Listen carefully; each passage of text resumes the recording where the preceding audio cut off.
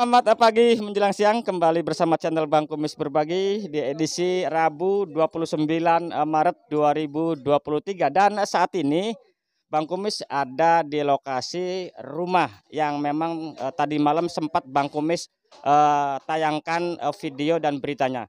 Dan untuk menambah informasi sengaja Bang Kumis hadir untuk melihat langsung dari dekat eh, kondisi rumah Bapak Handi yang terkena musibah dari Kampung Siluang, Desa Caringin, Kabupaten Pandeglang, Provinsi Banten. Channel Bang Kumis mengabarkan. Selamat pagi, Assalamualaikum Pak Indi. Waalaikumsalam. Pak bisa menjelaskan uh, bagaimana sih peristiwa ini terjadi Pak pada waktu itu? Terjadi itu eh, pukul 6 pas buka puasa.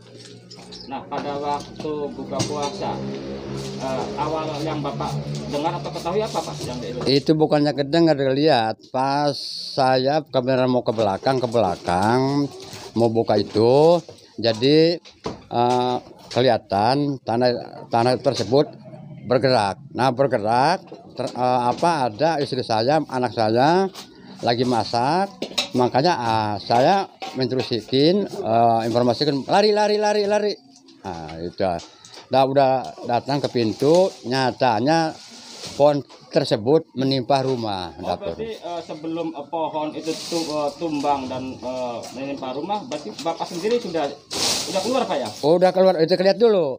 Nah, baru lihat baru keluar. Nah, saya nyuruh keluarga suruh lari, menyelamatkan diri.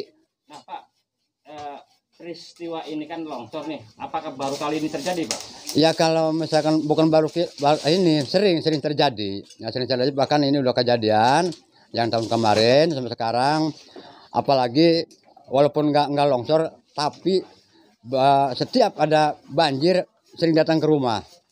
Padahal ini kan sungai kelihatannya dalam Pak, tapi kalau banjir itu naik ke pemukiman warga juga. Pak. Naik, naik. Pak, sekitar ada berapa rumah sih Pak yang ap- apa namanya membahayakan di lokasi ini Pak? Kalau membahayakan, membahayakan di belakang sungai ini ada 16 rumah. 16 rumah. 16 RT rumah. Apa, Pak? Ya, RT-nya RT 16 Pak Sobari. Pak Subari ya.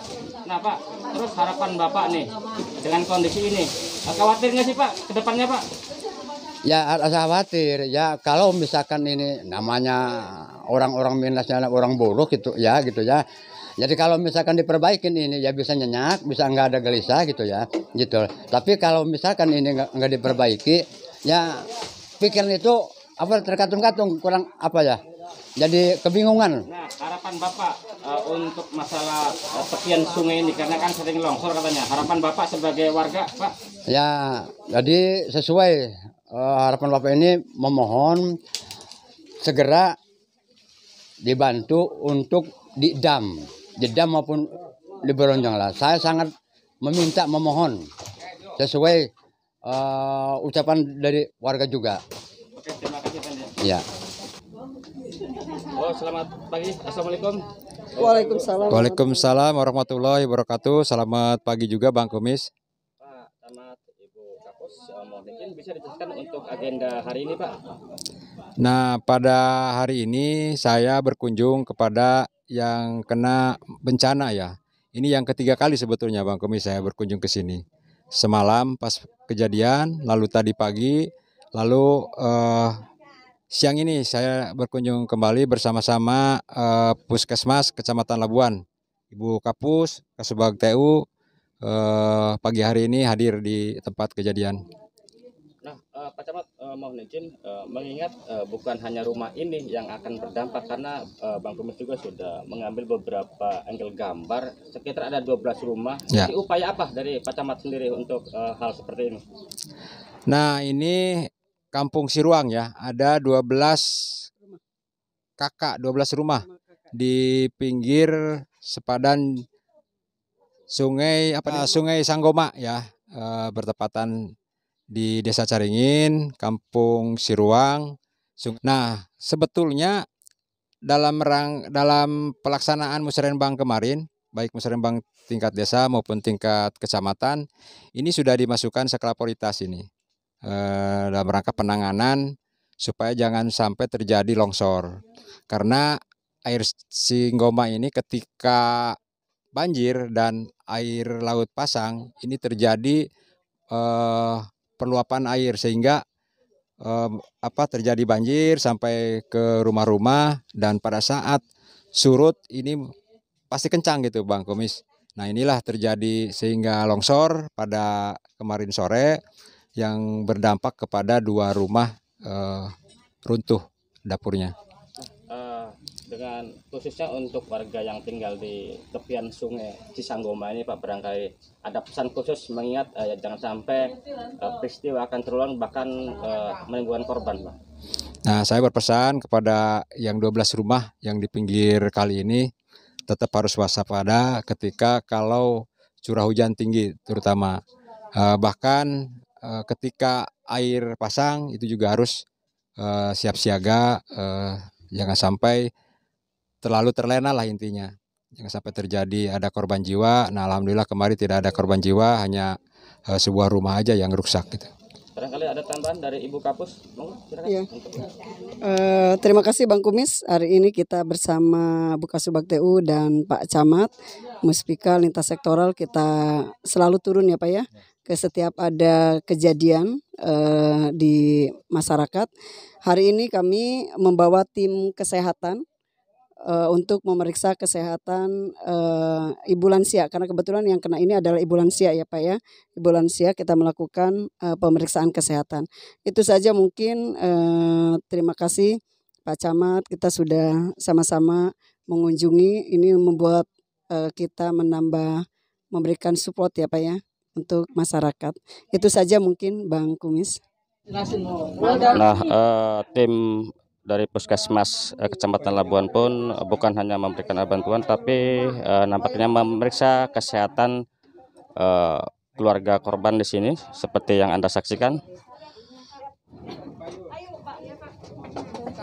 Hasan, Ya, usia seberapa tahun, Bah? 75.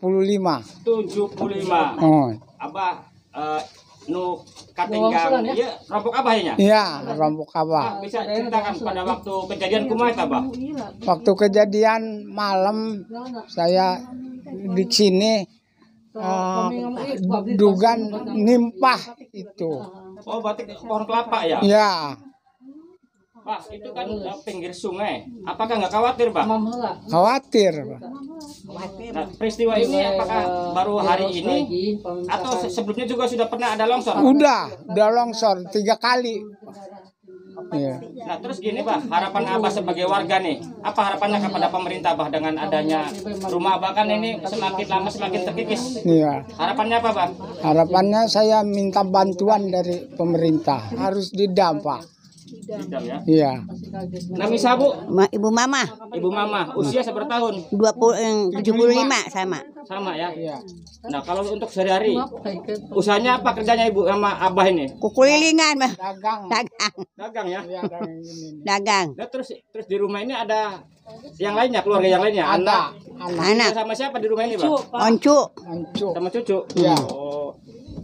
Ah, Ibu, pada waktu peristiwa rumah Ibu ketimpa pohon, itu Ibu sedang ngapain Ibu pada waktu itu, Bu? sedang tidur. Oh, gitu ya. Iya. Sedang tidur. Uh, seperti bom aja. Oh, gitu ya. Iya.